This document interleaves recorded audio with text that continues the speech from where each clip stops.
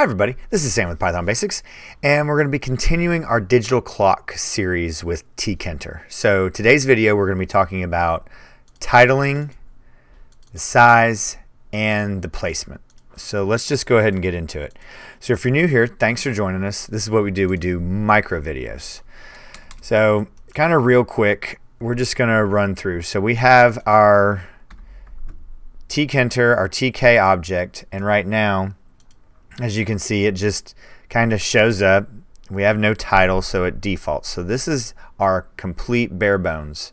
We grab our object, we create a variable, then we call it with main loop. So now, now like I said, we are going to touch on titling.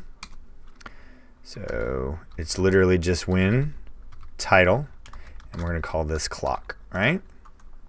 Alright, so let's save and run this again. Alright, so, and this has just few enough characters where clock fits in there perfectly. So now, like I said, we're going to do title, size, and placement. So now there is, you can do, you can do size with configure but we're going to do that a different way. We're going to use geometry. And the reason why I like geometry is you can do this. Let's do do dimensions.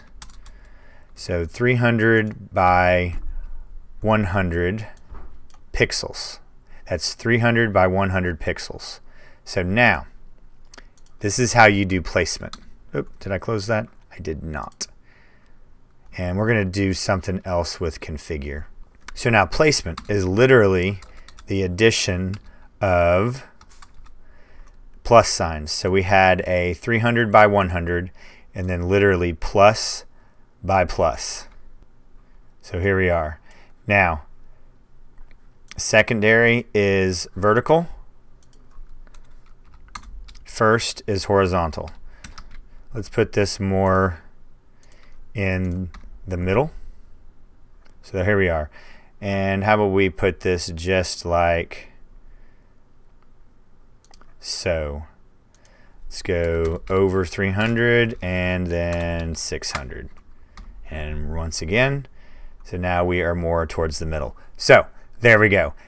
Title and size and then location. So a and and this in case you missed it this is a string inside the geometry method tied to our tkinter class object.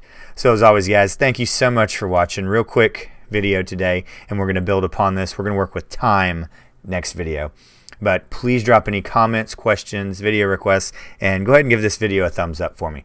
And hit that subscribe button, notification bell, and jump over to Discord. Make sure you have all your questions answered. We have a ton of folks over there. We have an aw awesome admin and an awesome moderator uh, able to answer almost all the questions that you have for Python. So, as always, guys, thanks for watching. Stay tuned, and we'll see you next time.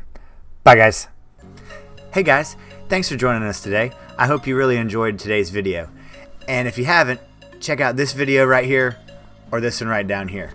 And most important, make sure you're hitting this subscribe button and the notification bell.